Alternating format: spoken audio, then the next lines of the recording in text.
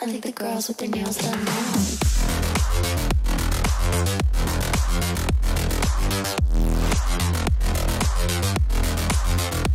Girls with their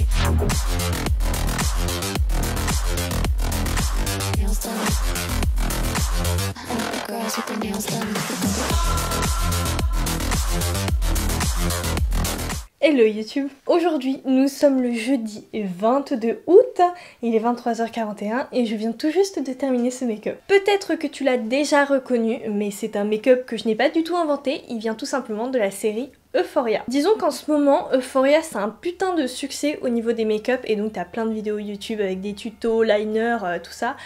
Et c'est assez cool. En ce qui me concerne, j'ai fumé la série en deux jours. Voilà, tu fais 4 épisodes par jour et c'est très bien. Elle est disponible sur OCS, tu télécharges l'application et en plus c'est un mois gratuit donc euh, why not hein. Ce make-up c'est le look que Cassie porte lors d'un épisode, voilà je ne te spoilerai pas lequel. Honnêtement c'est son corps, il est perlé, tout c'est magnifique. Je suis tombée amoureuse et donc c'est pour ça qu'aujourd'hui j'ai décidé de le recréer. La make-up artiste c'est Kiri Kirin Ryder. Ah oui, la fille est blonde, mais j'ai décidé de mettre cette perruque bleu turquoise en mode sauf fluffy parce que je trouve qu'elle va super bien avec. Vous trouvez pas? Bon, et si on commençait le tuto? Je l'ai fait juste avant, mais j'ai mis du fond de teint. Je crois que c'est le Can't Stop Won't Stop de chez NYX. C'est un de mes préférés. À force, euh, vous vous y habituerez. J'ai mis un petit peu de concealer, j'ai poudré mon teint et maintenant je passe au blush avec vous avec la palette Morphe, la 8W. Ici, on n'est pas là pour rigoler, on veut du glow à fond. Donc, ce que je vais prendre, c'est un highlighter qui vient de chez Anastasia Beverly Hills, de la palette Aurora. Et je vais mettre une première couche d'highlighter bleu. Et après, pour accentuer tout ça, je vais pas hésiter à le mouiller avec un fixateur de maquillage. Je fais mes sourcils en mode naturel et je passe aux yeux. On ne change pas une équipe qui gagne, c'est pour ça que je vais prendre tout naturellement ma base qui vient de chez P. Louise, c'est la numéro 2, c'est la teinte universelle. J'en profite aussi pour redéfinir un petit peu mes sourcils. Après, vous pouvez estomper la matière au pinceau ou bien à la Beauty Blender.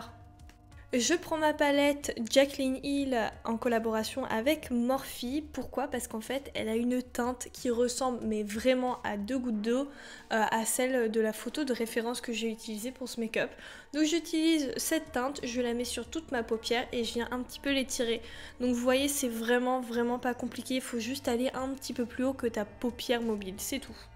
Ah oui, petite anecdote sur la teinte, si tu n'as pas la Jacqueline Hill palette, c'est une teinte un petit peu qui tire vers le gris vert et qui est très métallique paillette.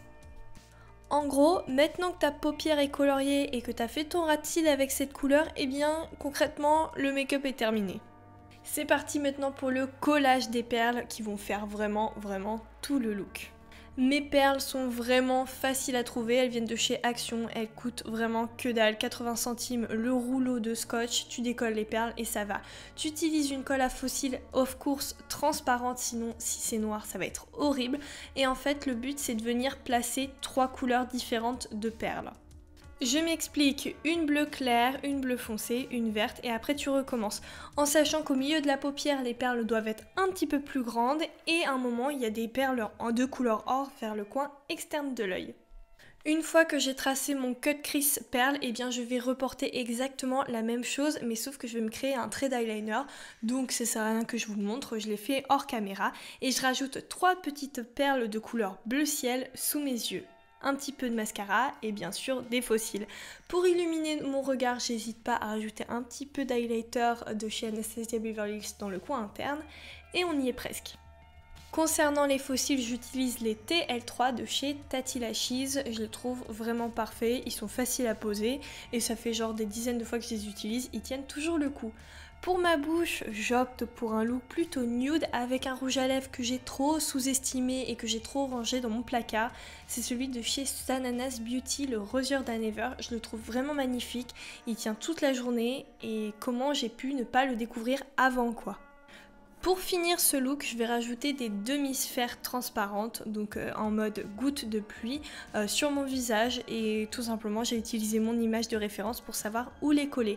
Les strass viennent de chez Cultura ou bien Jour de fête, je m'en souviens plus mais en tout cas j'y suis retournée et j'en ai pas retrouvé de nouveau donc disons que c'est une ancienne plaquette. Pour finaliser mon look, je vais mettre une perruque bleue sauf fluffy que je vais styliser à ma manière, un petit peu de gloss et j'accessoirise avec des barrettes qui viennent de chez Stradivarius. Voilà, cette transformation en Casey de Euphoria est terminée. J'espère sincèrement que le make-up te plaît autant que moi, que le look même complet te plaît autant que moi. Je suis fan et en fait ça m'énerve parce que ça fait déjà à trois reprises que je dis ça lors de mes vidéos, mais vu que moi je les filme pas dans le même ordre où vous allez les voir, eh bien je me rends compte que là j'ai fait trois derniers make-up où je me dis mais je vais faire ça à Halloween, il faut que je me trouve un make-up quoi. Je vous regarde droit dans la caméra, je vous jure que ce make-up et j'aimerais tellement le faire tous les jours. C'est trop beau. Pas obligé le teint, mais le maquillage des yeux est sublime. En soi, c'est pas si long et il est pas si cher étant donné que ce sont des paillettes qui viennent de chez Action. Donc en gros, t'en as pour 80 centimes la plaquette. Si tu aimes mon contenu, mon univers, mon travail, n'hésite surtout pas à t'abonner si ce n'est pas encore fait. Bien sûr, à laisser un petit commentaire d'encouragement, à liker et à me rejoindre sur Instagram. Bon allez, moi je te donne rendez-vous demain à la même heure pour une nouvelle vidéo. Bye